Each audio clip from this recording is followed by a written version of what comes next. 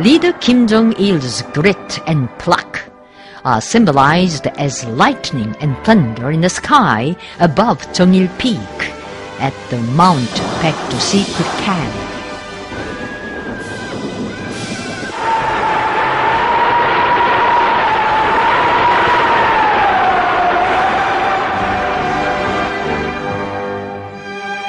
The US President, on October 20th, 1994, sent a letter of assurance to leader Kim Jong-il to lift hostility between Korea and the United States.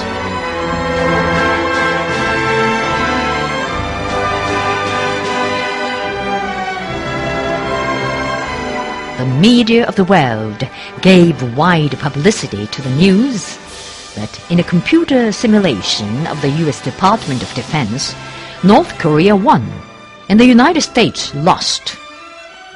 They added that leader Kim Jong-il is the most famous of the famous commanders. Kim Jong-il burns the White House with the fire of guerrillas he kindled on Mount Baekdu.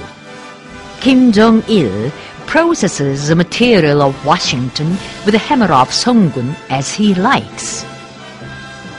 Kim Jong-il is a champion of global peace, leading the world politics with his real ability and weapon.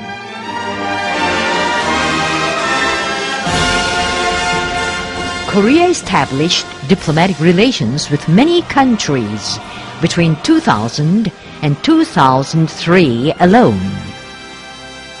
It proves Korea's prestige on the international arena.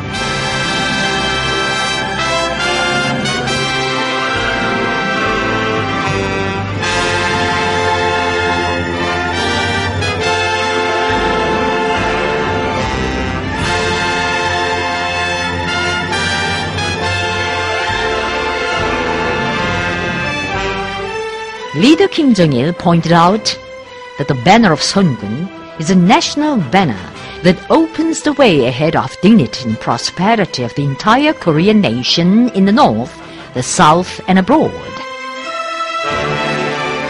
June 2000 witnessed the historic North-South Summit meeting and the adoption of the June 15th Inter-Korean Joint Declaration. Under the ideal of by our nation itself, there were held North-South ministerial talks and economic, military, and civil talks for Korea's reunification. The North and South relinked, cut roads and railways.